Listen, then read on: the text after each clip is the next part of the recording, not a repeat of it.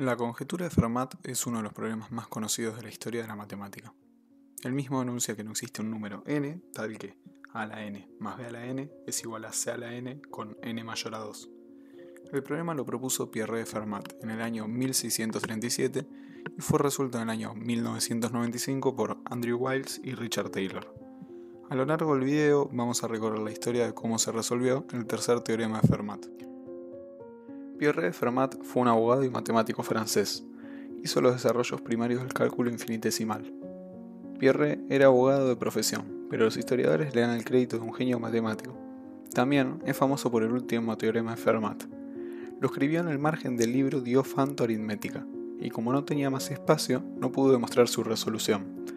El problema que lo hizo tan reconocido se le ocurrió tras pensar en qué pasaría si el teorema de Pitágoras, en vez de elevar los números al cuadrado, lo hiciera al cubo, a la cuarta o a la quinta. Para resolver el problema se tuvo que esperar más de 300 años hasta que existiesen ramas de la matemática que en el tiempo de Fermat no existían.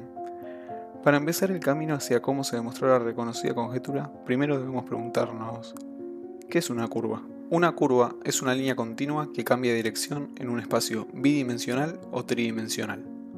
En el video vamos a centrarnos en un tipo de curva específica, las curvas elípticas. Pero, ¿qué es que algo sea elíptico? ¿O qué es una elipse?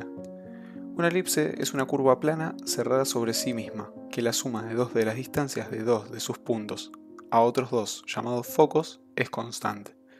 Pero esto no dice mucho. Además, vamos a ver que las curvas elípticas no tienen mucho elípticas. En matemáticas, la trayectoria de las curvas está escrita por ecuaciones, y esas ecuaciones pueden ser representadas en un plano con ejes. A esos ejes los solemos llamar x e y, aunque podría no ser así. A la intersección entre las rectas paralelas a uno de los ejes y perpendicular al otro, la llamamos puntos del plano. Para describir matemáticamente una curva con una ecuación, se establece una relación de igualdad entre dos variables. También las vamos a llamar x e y. Dependiendo de la igualdad, vamos a poder asignarle a las variables ciertos valores y cada valor va a ser una coordenada de la curva. Existen muchos tipos de curvas. Por ejemplo, si se propone la igualdad x igual a y, se puede ver que cualquier valor que elijamos para x va a ser el mismo que para y. Pero si le añadimos un parámetro a a x y un parámetro b a y, vamos a ver que ahora los valores de x no van a tener que ser los mismos que y. Las curvas elípticas están descritas por la ecuación y cuadrado es igual a x al cubo más ax más b. Si se modifican los valores de a y de b, podemos ver que la trayectoria de nuestra curva cambia. Las curvas elípticas tienen un montón de aplicaciones en el mundo cotidiano. Por ejemplo, son fundamentales para la criptografía, además que fueron parte fundamental de la resolución del enigma de Fermat. Existen unas ecuaciones que describen curvas particulares. Estas curvas se llaman funciones. En estas curvas, y no puede tomar dos valores para una coordenada de x. Las funciones tienen un conjunto de entrada, o sea, los valores que puede tomar x, y un conjunto de salida, los valores que puede tomar y. Las formas modulares son funciones que van del conjunto de los complejos al conjunto de los complejos. Son funciones difíciles de representar en el plano convencional, por eso vamos a usar colores para ayudarnos a entender los gráficos. Voy a dar una breve explicación de cómo se pueden visualizar las funciones complejas aunque hay otros videos en los que se profundizan mejor. Vamos a repasar qué es un número complejo y qué es una función compleja. Un número complejo es un número que tiene parte real y parte imaginaria. Se lo representa como un punto con una coordenada real y otra imaginaria. Una función compleja se podría pensar como un cálculo al que le damos un número complejo, con su parte real e imaginaria, y lo transforma en otro. Por ejemplo, la función compleja f de z igual a z al cuadrado eleva cada número complejo que queramos al cuadrado. Si al complejo 3 más 5i lo elevamos al cuadrado, el resultado de la transformación es menos 16 más 30i. A los números complejos también se los puede representar en forma polar. Para ello se traza el segmento que va desde el origen al número complejo, llamado módulo.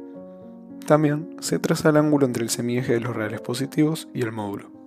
Para representar las funciones vamos a seguir esta escala cromática, donde el punto transformado por la función se le va a asignar un color.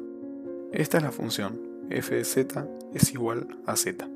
Los colores se juntan en el centro, ya que ahí es donde la función se anula. Las formas modulares son funciones complejas también. Lo característico de estas funciones es ver qué pasa cuando se le aplican determinadas transformaciones.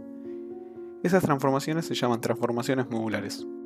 Esta es la forma modular f, bajo la transformación modular az más b sobre cz más d.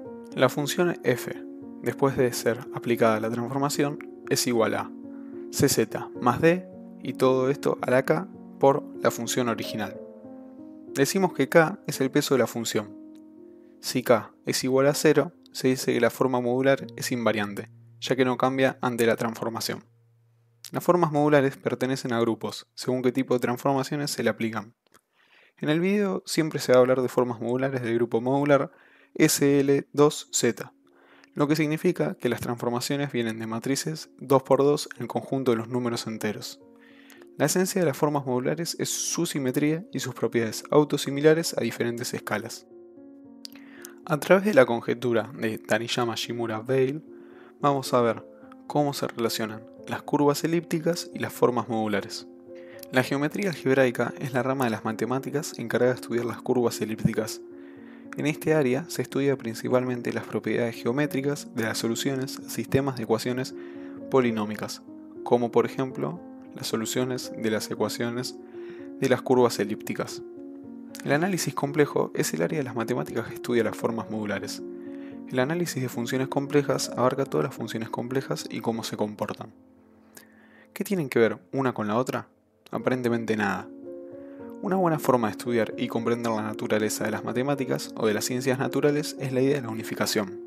Desde la antigua Grecia se vincula la belleza, la simpleza y las ciencias. Se cree que cuanto más simple y unificado es el conocimiento, es más bello. Además, es muy útil la unificación, ya que se puede tener el mismo objeto de estudio visto de otro lado. Por eso, una de las grandes labores de las ciencias y la matemática es el unificar las grandes áreas de estudio de cada una. En el camino de la búsqueda se avanzó muchísimo. La conjetura de Taniyama Shimura Veil es quien unió en primer lugar dos campos de la matemática que aparentemente no tenían mucho que ver. La conjetura o actual teorema enuncia. Para toda curva elíptica E con coeficientes racionales existe una fórmula modular f de peso 2 tal que la serie L asociada a E y la serie L asociada a F coinciden. Esto equivale a que los coeficientes A sub P asociados a la curva E, que se obtiene a partir del número de puntos de la curva módulo P, para P' de buena reducción de E, coinciden con los coeficientes del desarrollo de Fourier en el infinito de F. Es comprensible que no se entienda muy bien, por lo que voy a explicarlo parte por parte. La primera parte del enunciado dice que, para cualquier curva elíptica, llamémosla E, con coeficientes racionales o sea, los números que acompañan a la x y a la y, existe una forma modular de peso 2. Después menciono una serie L. Pero, ¿qué es una serie L para una curva elíptica? ¿Y para una forma modular? La serie L está relacionada con el conteo de puntos racionales de una curva elíptica. Es importante saber cuántos puntos racionales tienen las curvas para tener información importante sobre ellas. Uno de los siete problemas del milenio habla sobre esto.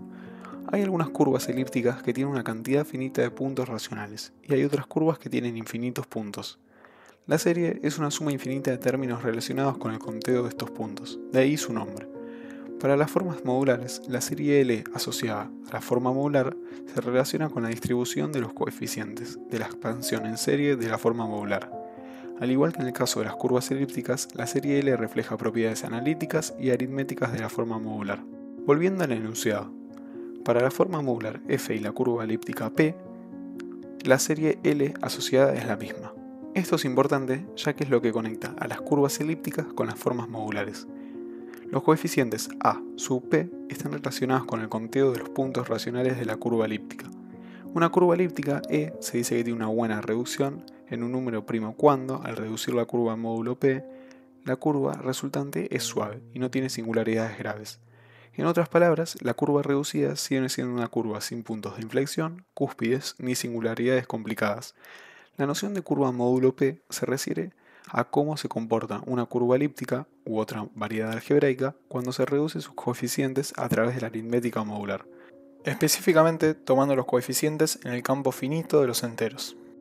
Sobre el desarrollo de Fourier no voy a entrar en detalle, pero es el análogo de que la curva elíptica sea reducida, pero para las formas modulares. La conjetura de Fermat es uno de los problemas más conocidos de la historia de la matemática. El mismo enuncia que no existe un número n tal que a a la n más b a la n es igual a c a la n con n mayor a 2. El problema lo propuso Pierre de Fermat en el año 1637 y fue resuelto en el año 1995 por Andrew Wiles y Richard Taylor. Ellos pudieron resolver el tan conocido problema a partir de demostrar parcialmente el teorema de Taniyama-Shimura-Weil para algunos casos particulares. Fermat dijo haberlo podido resolver, pero para que la demostración sería más larga que lo que quedaba al margen de la hoja en la que lo estaba escribiendo. Al final, nunca mostró la demostración, lo que hace que las personas se pregunten si realmente pudo resolverlo o si solo supuso que esa era la respuesta. Volviendo a la resolución del problema, Andrew Wiles no demostró por completo la conjetura de Taniyama-Shimura-Weil, demostró lo que se llama teorema de modularidad, que es el caso de la conjetura de Taniyama-Shimura-Weil, donde la curva elíptica es semistable y la forma modular de nivel 1. Que una forma modular sea de nivel 1 hace referencia a que la transformación viene de una matriz que su determinante es 1, y las curvas elípticas semiestables son aquellas que tienen una buena reducción de módulo primo. Wiles y Taylor construyeron una curva elíptica semiestable específica que esté relacionada con una ecuación diofántica particular que representa el último teorema de Fermat. Es decir, construyeron una curva elíptica que represente a el teorema de Fermat.